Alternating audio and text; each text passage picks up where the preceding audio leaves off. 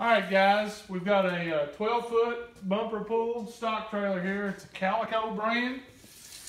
It is a uh, 92 model. Trailer comes with a title. Um, trailer is solid. There's no rust down the sides. We see some paint chipping, but uh, pretty common for its age. Trailer has brand new tires all the way around on it. Um, good shape. Tires are in really good shape. Come around back. It's got the full swing with our slider.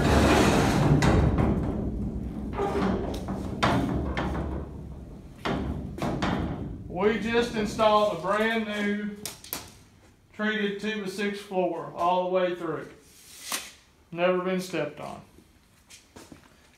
Trailer's got the got the grease hitch below if you pulling a wagon with it.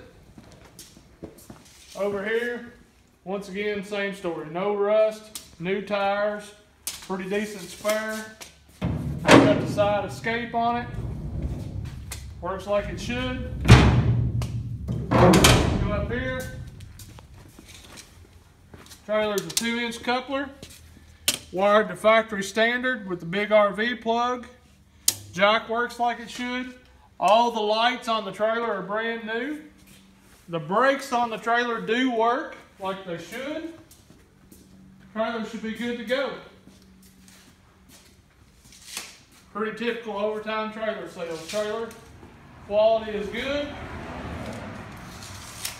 Might want to paint it just a little bit, but other than that, you won't find one much better. It's a really nice Calico 12 foot stock trailer.